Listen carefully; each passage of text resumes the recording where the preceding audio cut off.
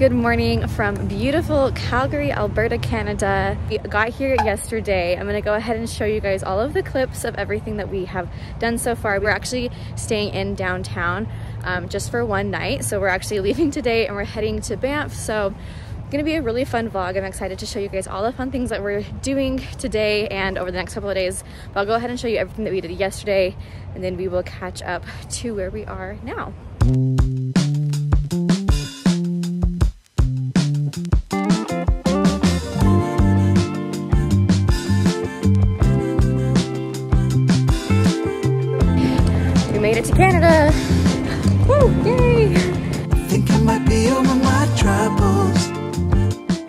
We arrived in Calgary, we immediately made our way downtown to our hotel. Our hotel was right downtown. We freshened up real fast and then we headed out to explore the city. Now, we were amazed at all of the modern art that we saw everywhere. A lot of it was commissioned for the Olympics when they had them there, but we really enjoyed it. Like this one, the Wonderland sculpture was one that I had read about online and I was really excited to see. It is a, young woman's head and you can actually walk completely through it like Megan does right here. And then at night, they actually light it up. So it looks really cool at night and was one that I was just really excited to see for some reason. Um, just because I think I had read about it.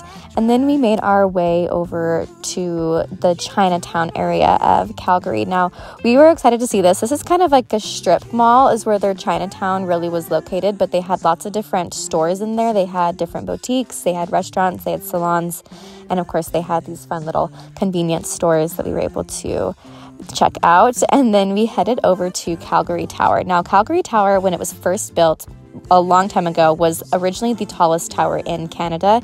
It has since been surpassed by many skyscrapers, but we got tickets to go around the observatory and we had a 360 degree view of the city. It was so neat we really did enjoy this. They had little um, points showing what all the different buildings were. There was different areas that show where the Olympics were in certain buildings, and then they also had this area that was a glass like walkout, so you could walk out over it, and it was scaring all of us. Like I, my legs felt so. Ugh, I just couldn't explain. I didn't like it, but it was really cool. Then we took the elevator down one floor to the Sky 360 restaurant, and I would definitely recommend doing this. It was really cool. It's actually on a rotating floor, so the floor does spin. It takes about an hour to go around one full rotation, so it's not going super fast, but we thought this was so cool being able to see the city and the food was absolutely delicious probably some of the best food we ate the entire time we were there so i would say it's definitely worth it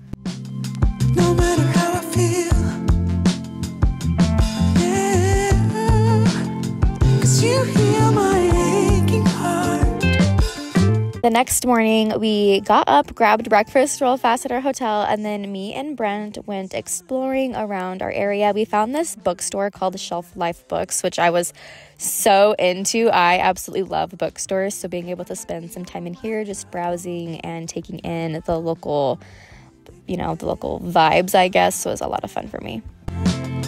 It's it's. Suddenly I think totally in my element here.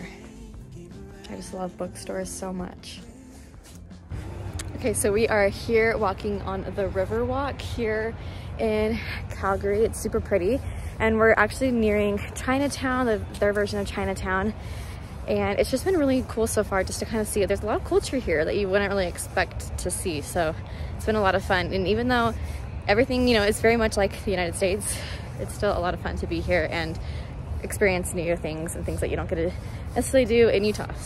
We spent the good chunk of our afternoon walking around the river walk. We actually only did maybe about a mile of it. There's it's quite long, so you can walk, bike, run, whatever you want on this. You can feed the geese, you can take parts of the different parks that you walk around. So we really did enjoy that. And then we ended up getting over to a different part of Calgary to get some poutine. Now, poutine is a classic Canadian treat. They don't have that really in the United States.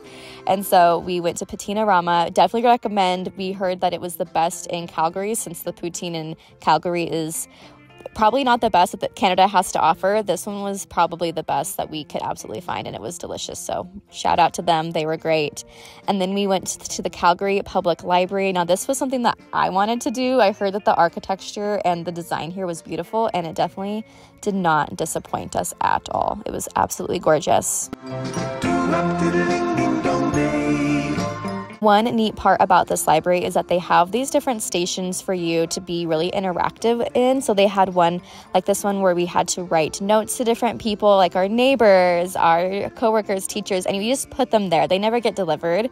And then they had this station about social media, and one of the challenges was to take a video, but you have to pose for a selfie for 10 seconds and it was quite hard. As you can see, we kind of, at least I started laughing and giggling, and we couldn't all get the right counting down, so it was a little hard, but it was a lot of fun. And just walking on this library for about half an hour was a lot of fun for me, at least, to be able to take part of the architecture. And again, I just love books, so it was great.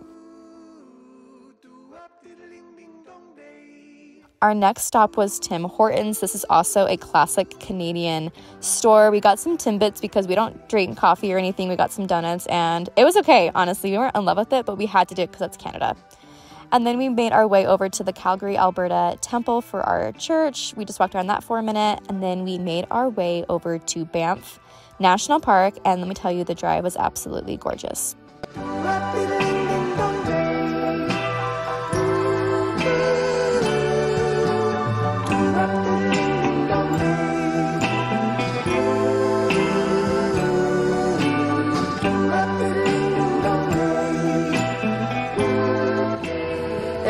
Gondola behind us. Can't really see it, but it looks really cool.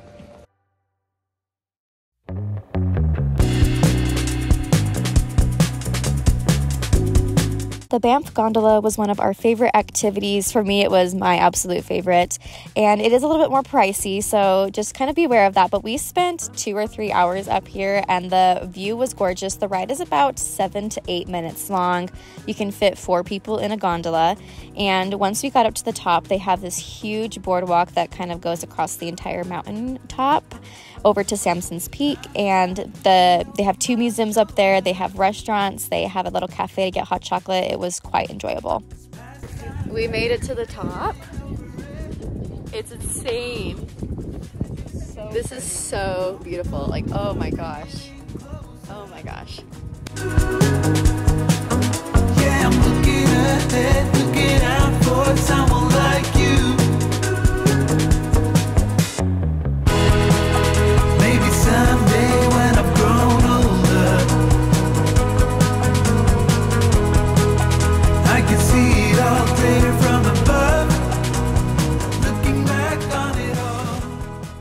one thing that we kept saying about this whole experience is that it felt like we were in a Hallmark movie with the views and the boardwalk, the snow, the hot cocoa, the trees covered in this beautiful snow. It was really enjoyable and a memory that I will definitely never forget.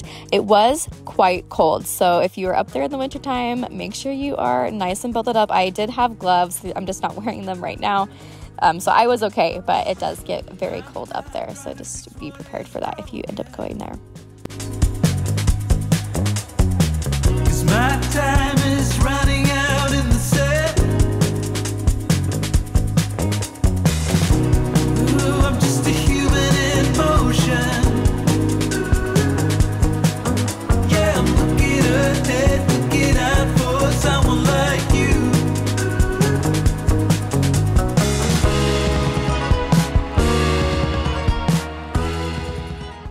Inside the observatory there at the top of the mountain, they have this really neat exhibit that has movie theaters, interactive parts. They have things for kids, things for adults.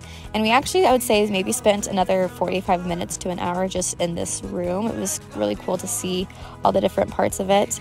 And then we got really hungry. So we decided to head down the gondola to get to the bottom and we headed into the town of Banff and we got some recommendations from some of the people who were working at the gondola of where to go eat and they recommended going to Rose and Crown. Now that is a pub and so they offered some good pub food but we were really there because we had heard that they have live music and they had this fantastic band playing. We sat there for probably another hour or so listening to them play and we had a really great time.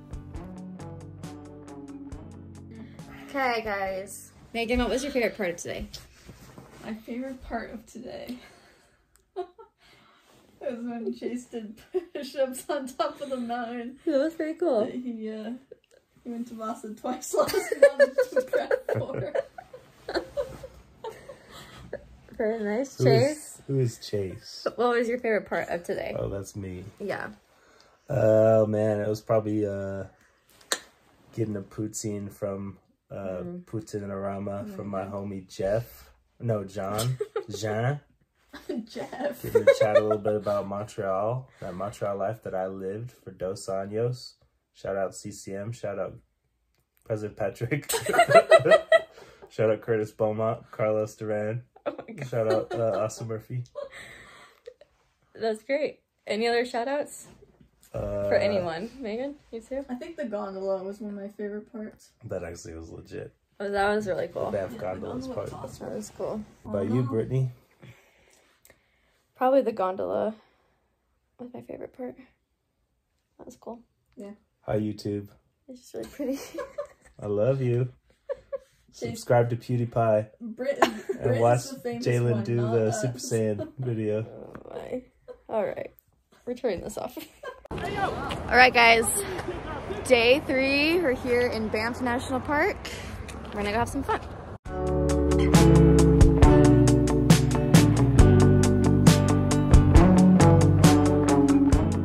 For breakfast, we headed over to another recommendation, and this was Bluebird Restaurant. This place was so cute. It was a mix of like farm and rustic meets glam. It was absolutely an adorable, beautiful restaurant, and the food there was also amazing as well. They don't have a ton of options, but everything that we ordered, we absolutely devoured, and it was so, so, so good. So I would really recommend coming here if you are looking for a great breakfast spot.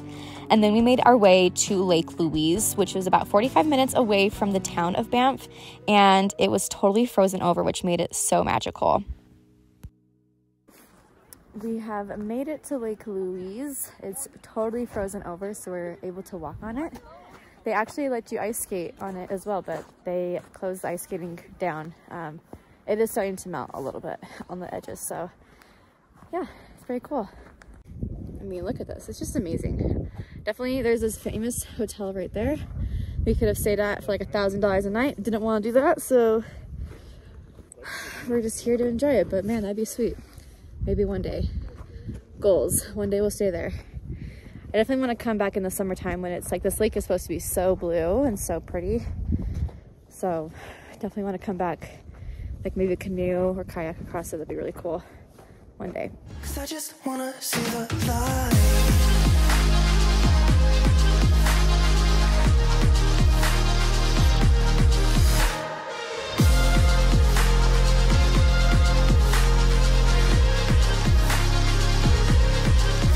I'm so sick of waiting getting too restless to We made it across the entire lake. You can tell because we're surrounded by trees now. And on a little horse trail, I believe it's like a horseback riding trail, to some frozen waterfalls. We found different ones that we don't have to climb up a mountain for, so we'll go try to see those. I won't see your face well, we almost made it. Um, they're right here, but there is water we have to cross. So fortunately, I don't think we'll be heading over there, but it's cool. It's so cool.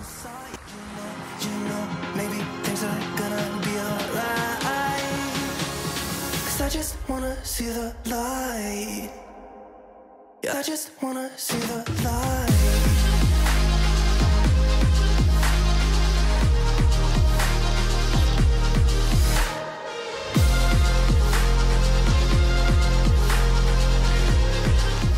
We then started off on some little scenic drives. We went to the Bow Valley Parkway and we stopped and looked at a few different lakes. We wanted to go on a couple of hikes. Unfortunately, I was not feeling it. I was so tired.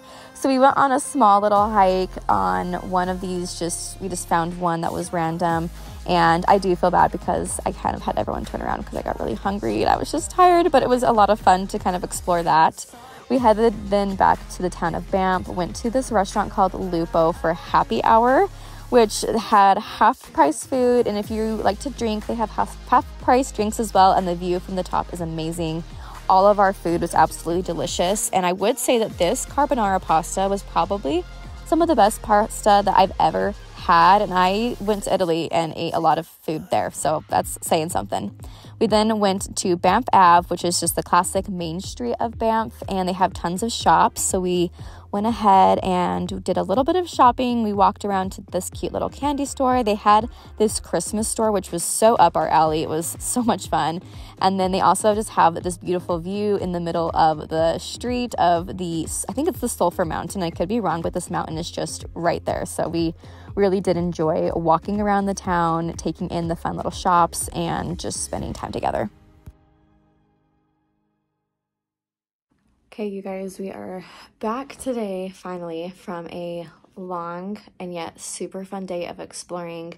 We really just got to explore Banff a little bit more. We went to Lake Louise and we did like a little nature hike a little bit today and then went back into the downtown area of Banff and just got to like hang out on the street and go get some really good food. So overall, it's been a really fun day. We I think we walked like five or six miles today, which really isn't a ton, but considering that like most of that was actually on a frozen lake, it was really cool. But we are quite tired now. We're all just like super tired and like our feet hurt, everything hurts. So we were gonna go to the Banff Hot Springs tonight. We're gonna stay here instead and at our Airbnb and there's a hot tub here so we'll just um, probably hot tub here tonight and then maybe go exploring a little bit tomorrow before we leave. But so far it's been so much fun and i just i'm so grateful to be here. It's been a lot of fun. All right brent what's been your favorite part of today? My favorite part was going to lake louise. Why was it your favorite? It was my favorite because uh, we were out in nature with little to no bounds. And it was fun hiking and escalating the mountains to get to the frozen um, falls as well. Yeah, it's pretty cool. And life's about being in nature, not about being in man-made buildings. so yeah. That's what life's about. Mm-hmm. Words of wisdom from Brent. That's how God intended it to be. okay, guys, it's our last day in Canada. We are getting ready to head back into the town of Banff just for a few hours.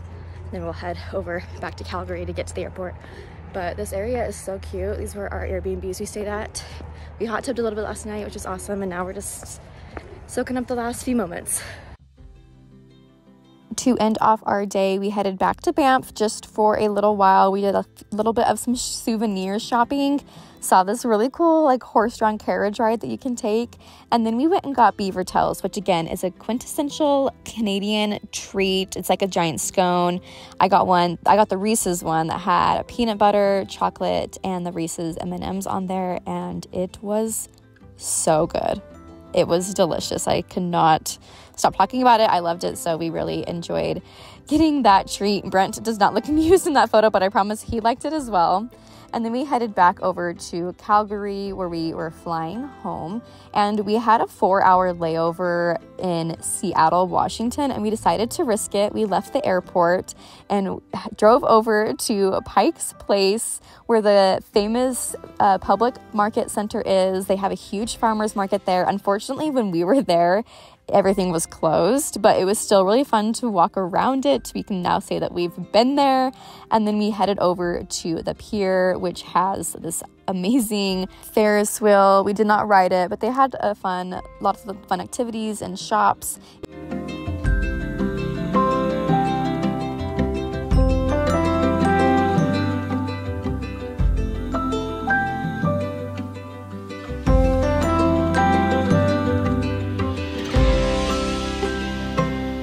We then made our way over to Post Alley, which is where the famous gum wall is and it was honestly kind of gross, but super cool. We did not, none of us had gum. It was so dumb. We were there, we could not put our gum on the wall. So that's kind of sad. We'll have to go back.